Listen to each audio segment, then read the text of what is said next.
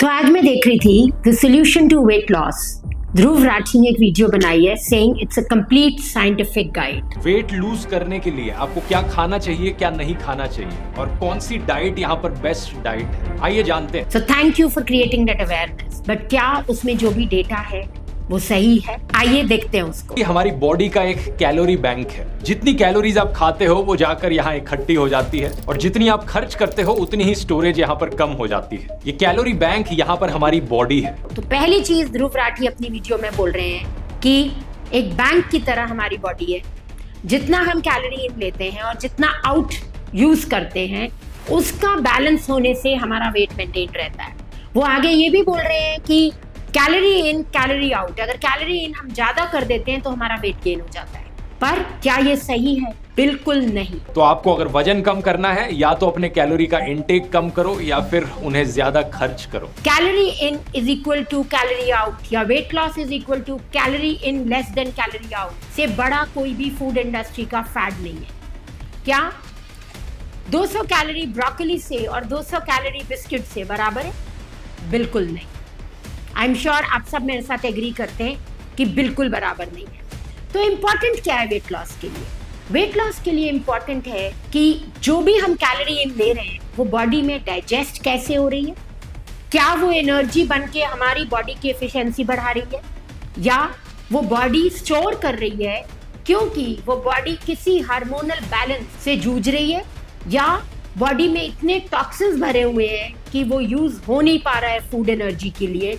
और वो स्टोर हुए जा रहा है फैट के लिए। दूसरी चीज़ ध्रुव राठी बोल रहे हैं अपनी वीडियो में कि तीन तरह की एक्सरसाइज हम सबको करनी चाहिए। पहला स्टेमिना या कार्डियो एक्सरसाइज दूसरा स्ट्रेचिंग एक्सरसाइज और तीसरा स्ट्रेंथ ट्रेनिंग कौन कौन सी एक्सरसाइज भागना चाहिए मीन्स कार्डियो करना चाहिए स्ट्रेंथ ट्रेनिंग करनी चाहिए वेट ट्रेनिंग करनी चाहिए एंड स्ट्रेचिंग करनी चाहिए। पर सबको करनी चाहिए बिल्कुल नहीं।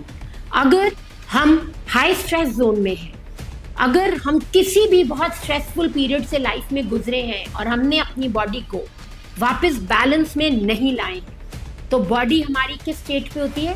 कैटाबॉलिक स्टेट पे मतलब टूट रही, फूट रही होती है। इस स्टेज में अगर हम कोई भी ऐसी एक्सरसाइज करते हैं तो बॉडी और टूटती है।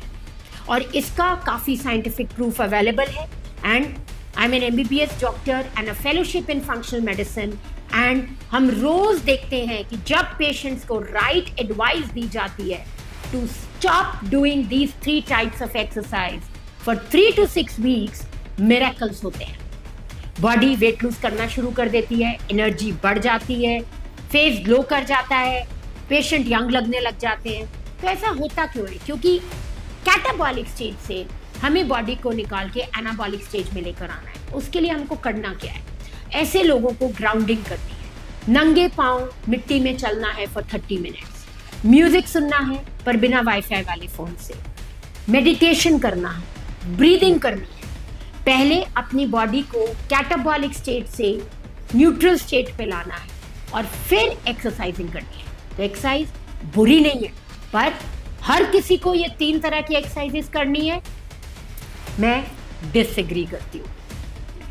एंड थर्ड चीज़, जो ध्रुव राठी ने अपनी वीडियो में बोला कि स्ट्रेस का बहुत ज़्यादा तालमेल है हमारे वेट लॉस से डायबिटीज़ से पीसीओडी से, बिल्कुल सही बोला उन्होंने।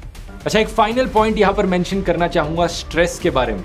वेट गेन और स्ट्रेस में एक बड़ा लिंक मौजूद है। जब आप ज़्यादा स्ट्रेस्ड फील करते हैं, आपकी बॉडी में कॉर्टिसोल के लेवल्स बढ़ जाते हैं। इससे आपका मेटाबॉलिज्म कम होता है और आपकी जो फैट और शुगर्स की क्रेविंग है, वो बढ़ जाती है। पर उन्होंने आगे ये भी बोला कि स्ट्रेस से दूर रहिए। आप मुझे बताइए, क्या आप स्ट्रेस से दूर रह सकते क्या आपका लाइफस्टाइल ये होने देगा? तो करना क्या है? मैंने अपने थर्टी प्लस इयर्स के एक्सपीरियंस में देखा है कि स्ट्रेस से हम दूर नहीं रह सकते और उसका फ़र्क भी नहीं पड़ता। फ़र्क किस चीज़ का पड़ता है? हम बाउंस बैक कितनी जल्दी करते हैं? एक ग्लास अगर आप दस बार उठाते हैं और रखते हैं, आपकी बाजू टायर्ड नहीं होगी राइट बट अगर आप इस ग्लास को उठाए रखते हैं आधे घंटे, एक घंटे के लिए तो आपकी पूरी ये आम दर्द होने लग जाएगी, है ना? एग्जैक्टली सेम चीज़ स्ट्रेस करती है हमारे साथ। तो स्ट्रेस से वापस कैसे फटाफट बाउंस बैक करना है? अपने लव्ड वन की फ़ोटो देख सकते हैं। कोई कॉमेडी शो देख सकते हैं। कपिल शर्मा का एक शो है जिसमें वो आलिया भट्ट आई हुई है एंड वो पूछता है आलिया भट्ट से कि आप खाते क्या हो? मतलब पानी ज़्यादा पीना चाहिए और क्या क्या चीज़ें पानी पीना चाहिए वेजिटेबल्स ग्रीन वेजिटेबल्स ज़्यादा खाना चाहिए। Green is very good for the body बहुत एंटीऑक्सीडेंट्स होते हैं चेहरे के लिए बहुत अच्छा होता है तो मैं मैं बहुत सब्ज़ी खाती तो आलिया भट्ट खाती है बहुत सारी ग्रीन वेजिटेबल्स एंड बिल्कुल सही एडवाइस है। एंड यहाँ पे मैं बोलना चाहूँगी कि ध्रुव राठी ने अपनी इस वेट लॉस की साइंटिफिक गाइड में बहुत ही बढ़िया तरीके से करेक्ट इन्फॉर्मेशन शेयर की है कि हमको कौन से फूड्स नहीं खाने चाहिए और खाने चाहिए टू बी हेल्दी ज़्यादातर पैकेज खाना जितना हो सके आपको उतना अवॉइड करना चाहिए। जो फैक्ट्री में बने अल्ट्रा प्रोसेस्ड फ़ूड आइटम्स होते हैं, उनमें सारी गलत चीज़ें डली होती हैं। मैदा added sugar artificial sweeteners palm oil artificial food colours harmful preservatives आइए पहले देखते हैं कि मैदा किन किन खाने की चीज़ों में डली होती है। Biscuits, rusk, mathri, chakli, namak pare, fan puff, samosa, kachori, pav bhaji, vada pav, aloo patty hot dog bhature, kulcha, tandoori roti, naan, Malabar paratha pizza donuts chowmein spring rolls momos jalebi, ghevar, gulab jamun pancakes muffins cake sandwich in fact आपके favourite tandoori masala छाप में भी 40 percent मैदा होती है। और ये बाकी और ख़राब चीज़ें किन खाने के आइटम्स में होती हैं? बैड ऑयल जो डीप फ्राइड चीज़ें हैं, भटूरे, समोसे, कचौड़ी मोमोज इन सब के तो एग्जाम्पल्स बताई दिए। एडिड शुगर इसके अलावा cold drinks ice cream candies chocolates biscuits cereals package juice खाने के लिए बचा क्या इन सब चीज़ों के अलावा? इस गलत फहमी में मत होइए, क्योंकि बहुत सारी चीज़ें बची हैं खाने की इन चीज़ों के अलावा। रोटी सब्ज़ी, जिसमें बहुत कम घी या बटर डला हो, इडली, उपमा, पोहा, ढोकला ऑमलेट मूंग दाल, चीला, डोसा, उत्तपम, जो बहुत कम बटर में बना हो, दूध, दही, लस्सी बॉइल्ड अंडे natural fruit juice chikoo shake, अंजीर शेक, मीसी रोटी, तवा पराठा, रायता बटर मिल्क जीरा राइस बिरयानी, हरा भरा केबाब मशरूम टिक्का, पनीर टिक्का ये चीज़ें देसी घी बटर या ऑलिव ऑयल में बनी होनी चाहिए। राइट हेल्दी होंगे तभी हम हेल्दी वेट लॉस कर पाएँगे। और बॉडी अपने आप आपको ऑप्टिमम वेट पर ले आएगी। तो वो कौन से फूड्स हैं? जैसे आलिया भट्ट ने बोला है कि वेजिटेबल्स खानी चाहिए बिल्कुल सही वही ध्रुव राठी भी बोल रहे हैं। पूजा मखीजा ने बोला है फैट्स खाने चाहिए। इंसानों का ब्रेन भी 60 परसेंट फैट से बना है। और यही advice popular nutritionist Pooja Makhija ने भी दिया था। और ध्रुव राठी ने भी उनको मेंशन किया अपनी वीडियो में।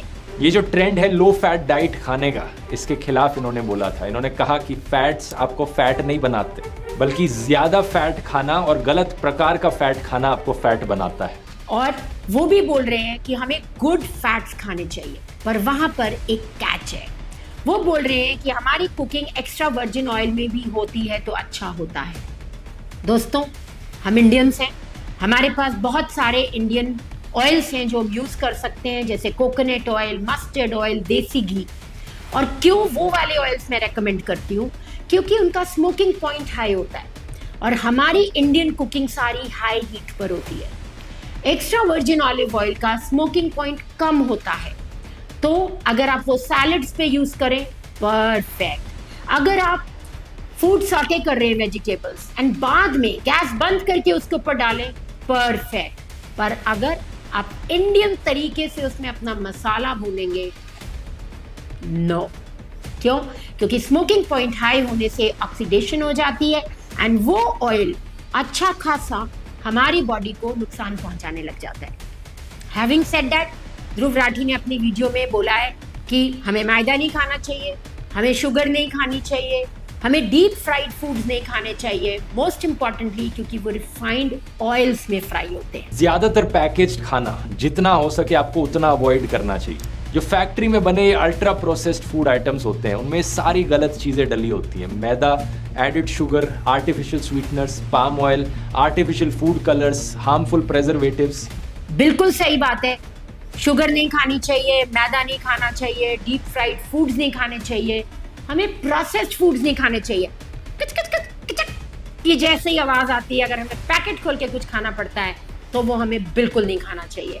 और वहीं पर ध्रुव राठी ने हमें ये भी बताया है कि जब हम थोड़ी देर के लिए इन चीज़ों को नो कर देते हैं, उन्होंने अपना थर्टी डे चैलेंज दिया है, जिसने भी वो किया होगा चैलेंज आई एम श्योर बहुत पॉजिटिव फील किया होगा।